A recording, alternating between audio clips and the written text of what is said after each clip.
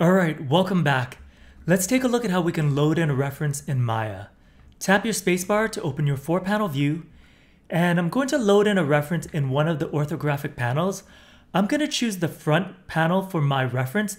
However, you'll want to load in your reference in whatever panel works for you.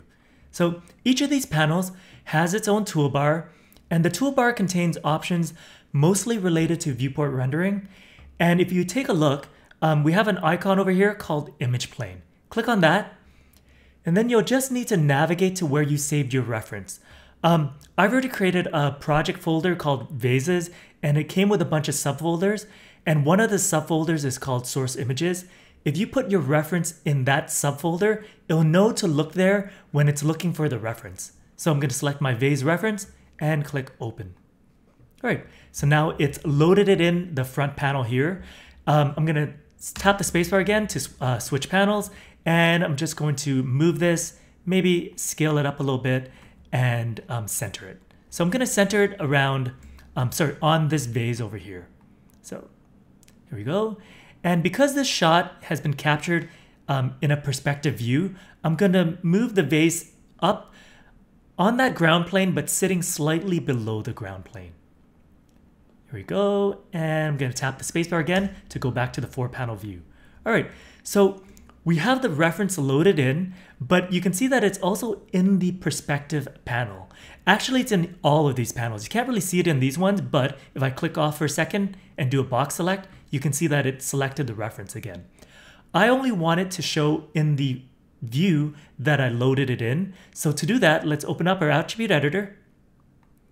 And then you'll want to find image plane attributes and right beside display, click this little circle and that'll only show it in the view we loaded it in.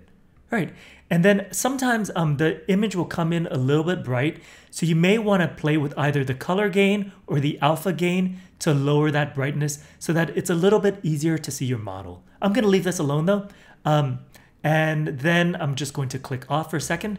So our reference is um, loaded in, but what you'll notice is sometimes when you're working, you'll accidentally select your reference. And that can be um, a little bit um, troublesome. So what we can do is we can put this reference on its own layer. So open up your channel box, make sure your reference is selected, and then down here you have this um, icon, the last one here. That'll add it to its own layer. Click on that, and then let's double click the layer, and you'll just want to name your reference. And I'll just name this something simple like vase ref layer. And then click save when you're done. And now our reference is um, added to its own layer. And then in the last box, we can click this a couple times until we get an R. R stands for reference. So if we um, click off the reference now and try and click on it again, we can't select this reference anymore. So that keeps it out of the way when you're modeling, um, or it prevents you from accidentally selecting it. And then one more thing I want to add is sometimes using this method when you're um, reopening a project, your reference will disappear.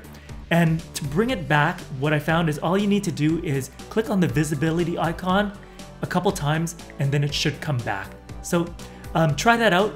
Let me know if you have any issues, but that's pretty much how you load the references in Maya. And I did um, have other tutorials where we loaded in the reference, but um, because I use that quite a bit for different projects, I wanted to create a separate tutorial. That way I don't have to create a, a new one every time we do a new project. So hopefully this has helped you guys out.